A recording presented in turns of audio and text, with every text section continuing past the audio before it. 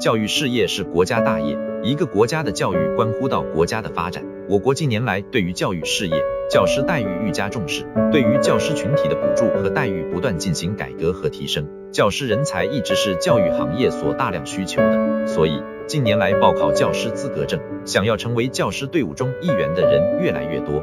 考到教师资格证后，再考进编制，得到稳定的教师工作，是很多人的理想计划。但是，教师资格证到手后，只能用来考取教师编制吗？教师资格证的用处可多着呢。以下这三大隐藏功能，你知道吗？